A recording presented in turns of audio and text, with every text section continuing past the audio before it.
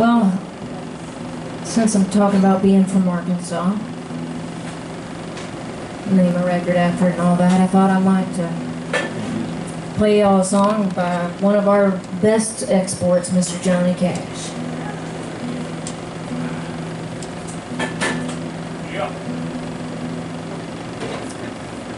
This is Johnny. I bought my guitar on Johnny Cash's birthday, and since it was all black, sitting next to a big cutout of him with a little birthday thing, I thought, well, that's fitting.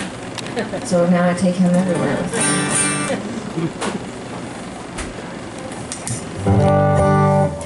I love Johnny Cash's music.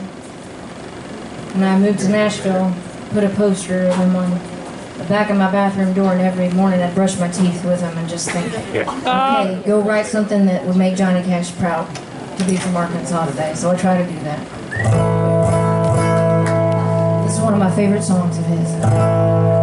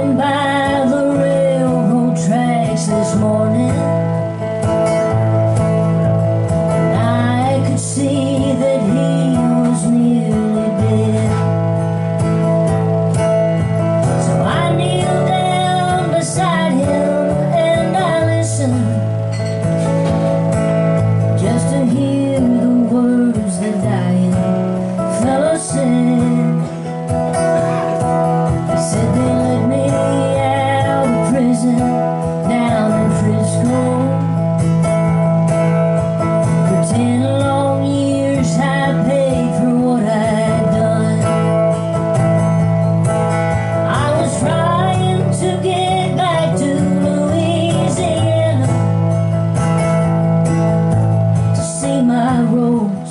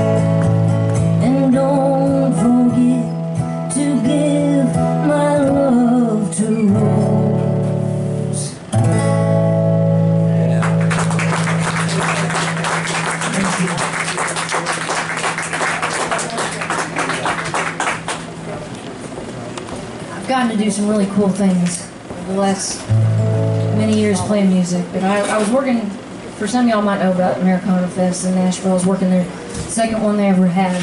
I was volunteering for a friend of mine, and me and three other girls have been working all day. We're the only ones that are working. We were supposed to have an hour off for dinner to go get changed for the award show. And our boss came up to us and said, "Hey, y'all, I hate I hate to do this, but y'all aren't gonna be able to go to dinner. I need you to come and make sure you know where everyone's sitting for the award show and get some stuff organized." And because she's so amazing, we were like, "Okay, well, we'll do that, even though we're all starving, about to fall over." And we walked into the auditorium, and they had a surprise guest that night. We didn't know who it was, and she said, "I was just kidding. I thought y'all might like to see rehearsal." So we got to sit in the front row and watch Johnny and June Carter rehearse their very last show they ever played. Oh, together. Oh my. I want to be a baby and cry about it. But it was so amazing.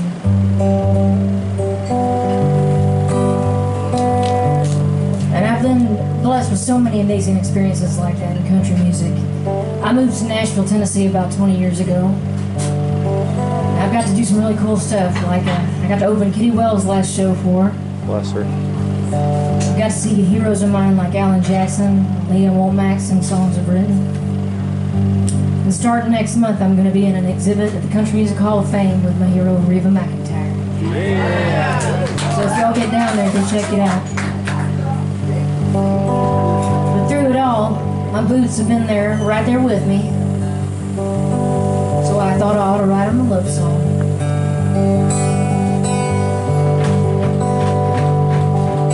These boots look a little rough. Yeah, they've seen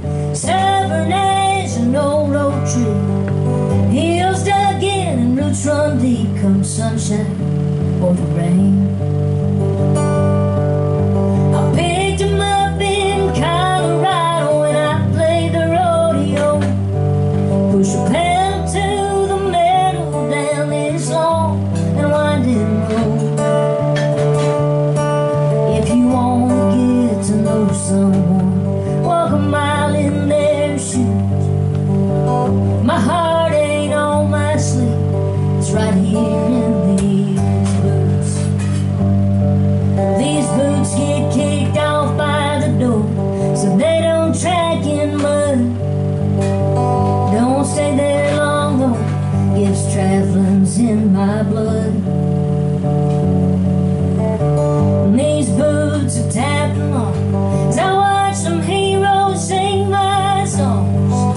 Every time I put 'em on, they fit me like a glove.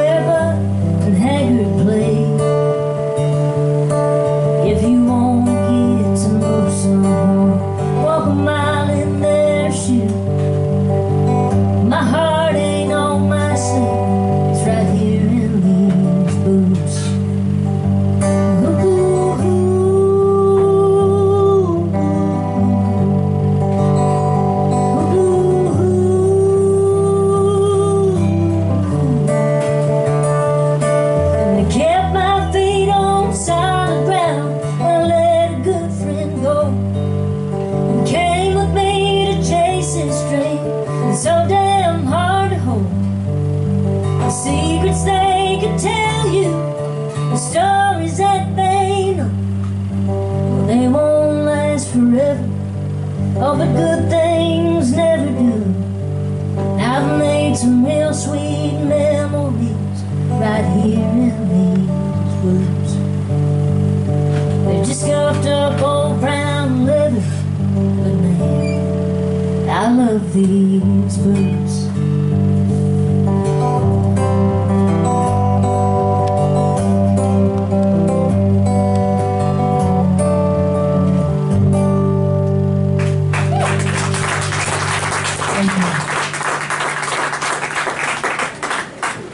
Was in high school and college, I got to work uh, with a, peer mentoring group with at-risk teens. And I worked with some, some really amazing young people. And their stories really hit me. How much they've been through in their short lives. And, uh, you know, we're coming out, out on the other side of it. trying to make the best of the hand they were dealt. And I wrote a song about a couple of their stories, put them together. He was a bastard, even though he knew his daddy. Even at his daddy's angry eye, brown as the whiskey ran through both their veins. I turned 18 the day I took his name. Young girl Raised up being lonely. He was the first boy to look my way. My ticket out Might have took me straight to hell But I take some of that blame And I shoulder it myself. Because I saw what he saw in me A broken limb from a crooked family tree